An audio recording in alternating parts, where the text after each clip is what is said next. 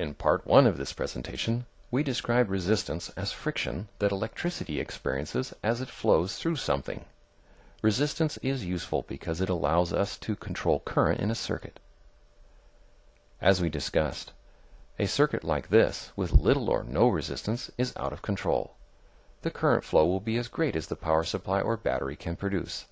Likely this excess current will damage the circuit and quickly deplete the battery. This is called a short circuit. Resistance, such as provided by the light bulb in this circuit, controls the current to a safe level. It also does something useful by providing light. The light bulb is the part of the circuit called a load.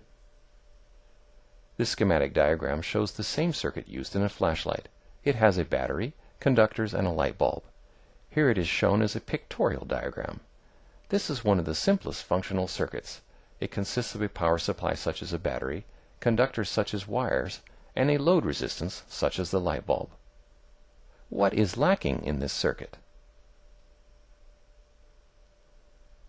There is no way to conveniently turn the light on and off.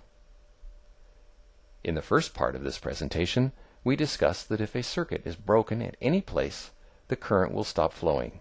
This is called an open circuit.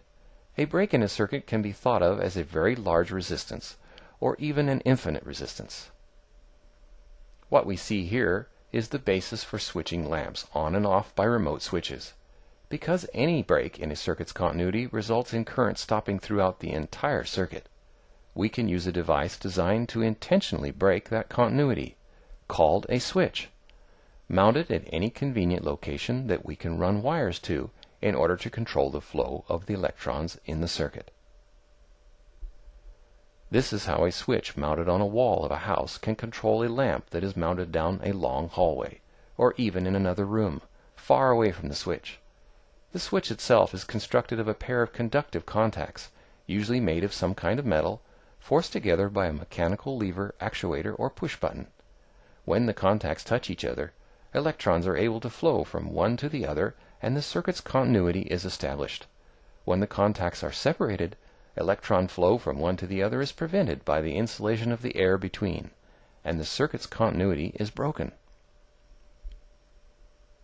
Perhaps the best kind of switch to show for illustration of the basic principles of a switch is the knife switch. A knife switch is nothing more than a conductive lever, free to pivot on a hinge, coming into physical contact with one or more stationary point, contact points which are also conductive. The switch seen here is constructed on a porcelain base, an excellent insulating material, using copper, an excellent conductor, for the blade and contact points. The handle is plastic to insulate the operator's hand from the conductive blade of the switch when opening or closing it. Here is another type of knife switch, with two stationary contacts instead of one. It has one blade but two stationary contacts, meaning that it can make or break more than one circuit. For now, it is not terribly important to be aware of this type of switch, just the basic concept of what a switch is and how it works. Knife switches are great for illustrating the basic principle of how a switch works, but they present distinct safety problems when used in high power electric circuits. The exposed conductors in a knife switch make accidental contact with the circuit a distinct possibility, and any sparking that may occur between the moving blade and the stationary contact is free to ignite any nearby flammable materials. Most modern switch designs have their moving conductors and contact points sealed inside an insulating case in order to mitigate these hazards. A photograph of a few modern switch types shown shows how the mechanisms are much more concealed than in the knife design.